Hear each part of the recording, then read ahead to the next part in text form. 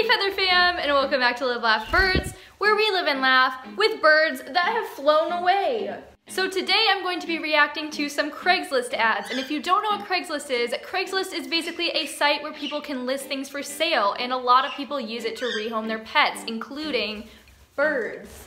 A lot of these parrots on Craigslist are in pretty bad conditions because the people didn't know what they were getting into before they got them. If you don't have a bird rescue near you, but you still want to adopt a parrot, then going to Craigslist can be a great way to find birds that need homes. And unfortunately, a lot of the birds you'll see on Craigslist are small parrots such as budgies especially because budgies are so cheap, they're so easily impulse bought, and a lot of people just get them and then can't take care of them.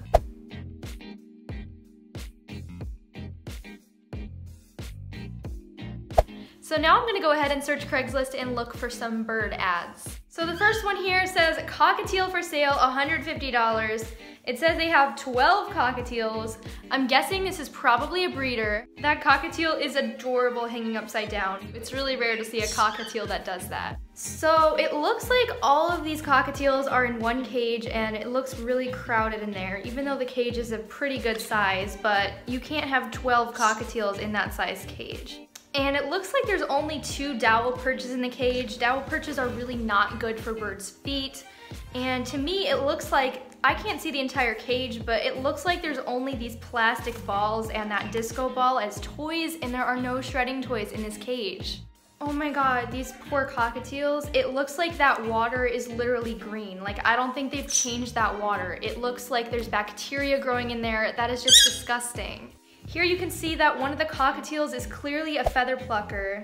There's a really disgusting looking nest box at the bottom of the cage. I have no idea if they're using it or not, but look at the bottom of that cage. That is absolutely filthy. It looks like they have not cleaned that cage in forever.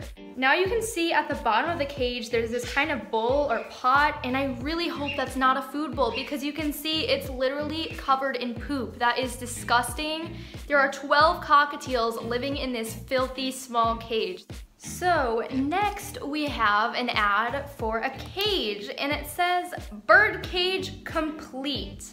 Um, if you can look at this cage, it is absolutely way too small for any type of bird. And it literally comes with no good supplies. The only thing it comes with are these two plastic perches, plastic food bowls, and no toys. So it is nowhere near complete. So if you don't know, plastic perches are terrible for your bird's feet, even worse than dowel perches because they're completely smooth and slippery and they have no grip to them. And birds can get arthritis, sores, bumblefoot infections. It says bird cage complete, will fit parakeet, canary, or finch.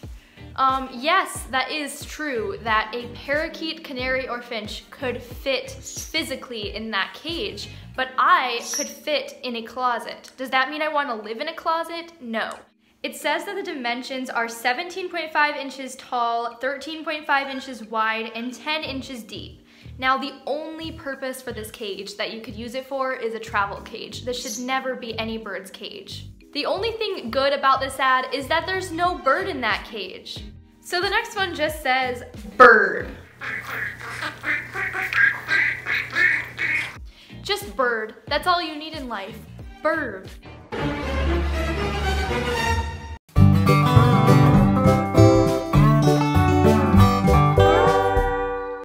I have five bird for sale. Cocktail, $140 each. Hmm.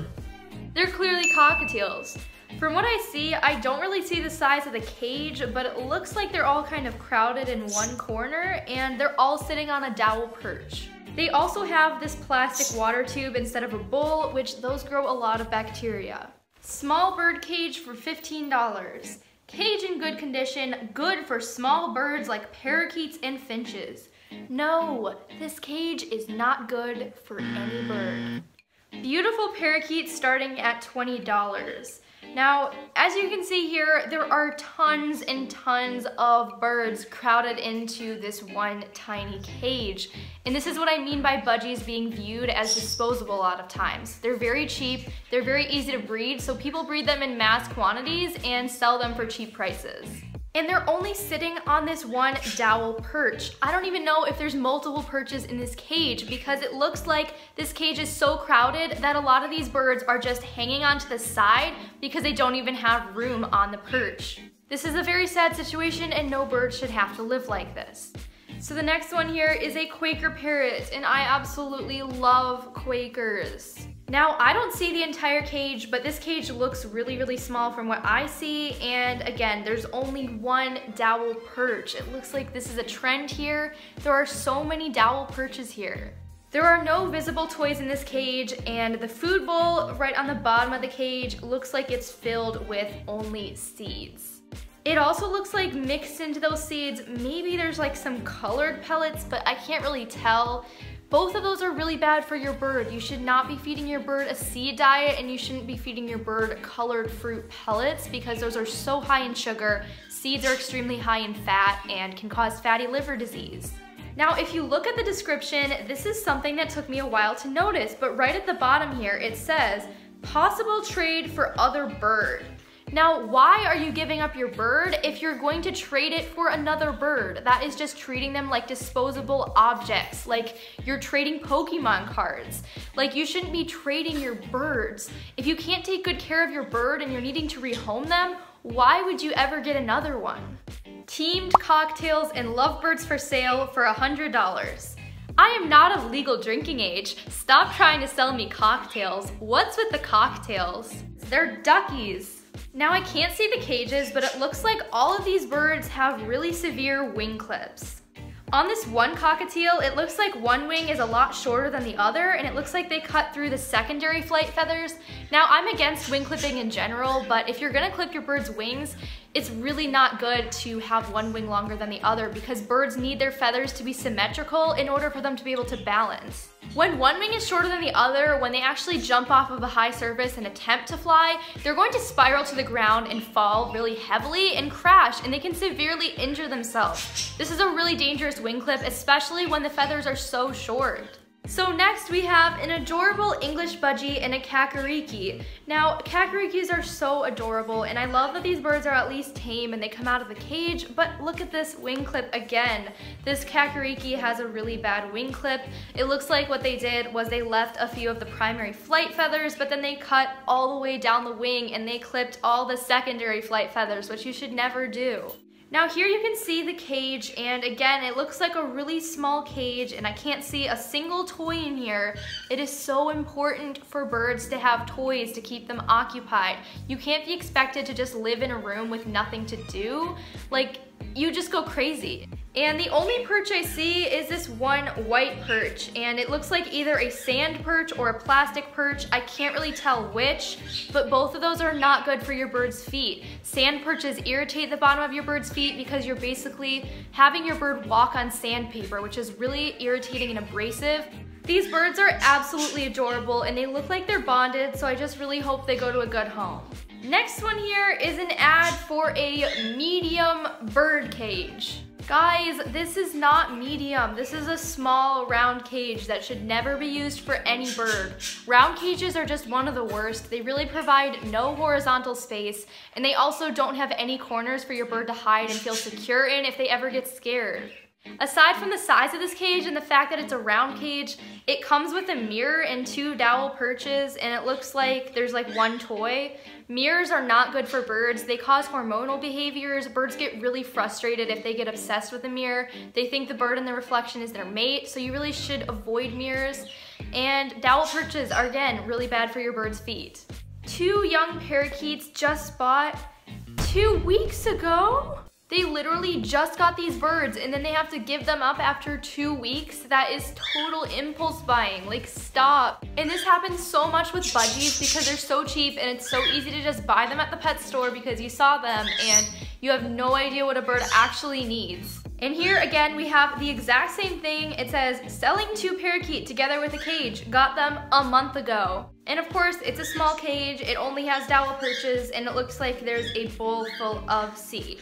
This one says, trade birds. I would like to trade my female Princess of Wales parrot for a white-bellied caique. And then they show a picture that they got off from Google. Hey, just a suggestion here, I highly suggest Pokemon cards, you know? Not like uh, living animals, you know? Hey Kermit, I think that you're just not good enough for me anymore and I would really like a macaw, so bye. Yeah, sorry guys, Kermit is gone. I'm just uh, waiting for my macaw now. Two parakeets in cage for sale, male and female, only $40. I swear this is like the same cage as like the ad where they were just selling that small blue cage, but like that cage didn't even have any birds in it. This one has two birds in it, and it has like one perch instead of two perches. There's literally not even a second perch in there, and it's a plastic one. And there's no toys, of course, because this cage would not even fit a single toy. Cage comes with a stick and a food and water container. Ugh. All right, so this is going to be the last Craigslist ad I'm going to react to. This one is for a Quaker parrot for $600, and this one is really not too bad. This is an adorable, adorable Quaker. So floofy, just like, I love them. And you can see the cage here. The cage is actually a really, really good size for a Quaker parrot, but you can see this setup isn't too good. If you look at the bottom of this cage, there is only one dowel perch, and that just seems like such a trend among these Craigslist cages because I literally haven't seen one of these cages with a natural wood perch inside of it. The only perch in this cage is near the bottom of the cage, and most birds spend the majority of their time in the top half of their cage. And this is because birds in the wild spend most of their time in trees because they feel safe and secure from predators. And this bird really doesn't even have an option to spend time near the top of the cage because there aren't any perches up there. And the only two toys in this cage are cotton rope toys. Now cotton rope toys are not good for your bird because your bird can swallow those cotton rope fibers and this can cause a crop impaction. And obviously there's no shredding toys in this cage which are completely necessary for your bird. What's good about this though is that they are giving away the bird for $600, which means someone is going to be more carefully considering whether or not to spend $600 on this bird. So that means they're more likely to do the research and more likely to actually look into what they're doing. Something I need to mention about birds on Craigslist. Never buy a bird from someone who appears to be a breeder selling their baby birds on Craigslist. A breeder selling their bird on Craigslist is really not gonna be a good breeder because they clearly don't care where the bird is going. Now you might think that getting a bird from a bad breeder is saving them because they were not in good care and they were not in a good situation, but that's not true because if you're getting a bird from a breeder, you're giving them money to keep breeding more birds. So getting a bird from a bad breeder on Craigslist is basically saying that you support them. So what you wanna do if you're getting a bird on Craigslist is to look for birds that are being rehomed. I just hope this video helped spread awareness about how many people need to rehome their birds because they didn't know what they were getting into.